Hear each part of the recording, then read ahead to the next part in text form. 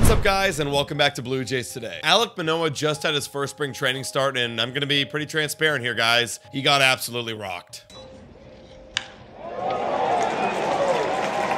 And of course, after a start like that, a lot of fans are starting to worry if Alek Manoah is going to bounce back or not. Before we get into the spring training start for Alek Manoah, I encourage you guys to hit the like button and subscribe to Blue Jays Today if you enjoy news and content around the Toronto Blue Jays. And also, let me know how you're feeling about this Alek Manoah start. It was a tough one. All right, guys, let's talk about what happened. Alek Manoah only pitched one and two thirds innings, and he gave up four hits, four earned runs, a walk, and most notably, he hit three batters. Alek Manoah's command was all over the place. He was clearly trying to pitch inside, but he continued to miss, resulting in those three hit batters. And of the 38 pitches that he threw, only 17 of them were for strikes, resulting in a 48% strike rate. And after looking at all of that data, it's pretty understandable if you're upset. This is garbage! This is garbage!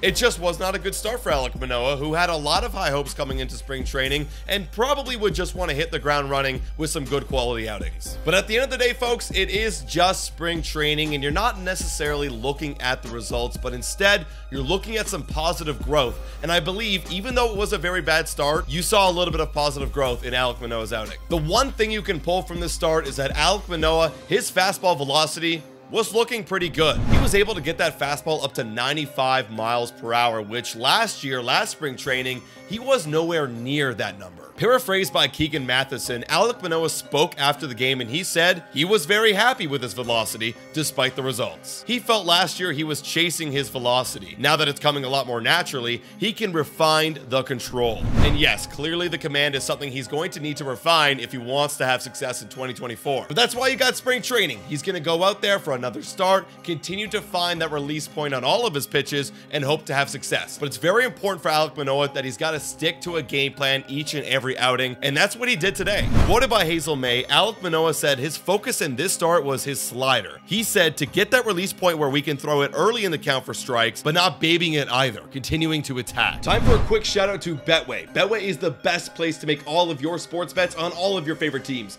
Betway is also in collaboration with iGaming Ontario. Must be 19 years older to participate. And guys, please bet responsibly. Now, back to the content. This tells me that Alek Manoah is very focused on a clear game plan this spring. Focus on getting the release point back on your slider and the fastball release point down, but he's not going to worry about aiming or guiding the pitch. He's got to trust his stuff because the moment you start worrying about aiming your pitches in the zone is the moment you start losing velocity and you start falling behind and your pitches become very hittable when they are in the zone. Alek Manoah is going to do the right thing and trust his stuff and hopefully have a better outing next time. In conclusion, guys, this is definitely not the outing that we were hoping for, but we got a long spring ahead of us. And if Alek Manoah is still hitting three batters every two innings by the end of spring training, then yes, feel free to hit the panic button, folks. But let me know what you guys think about Alek Manoah. Thank you so much for watching. And as always, guys, go Jays go.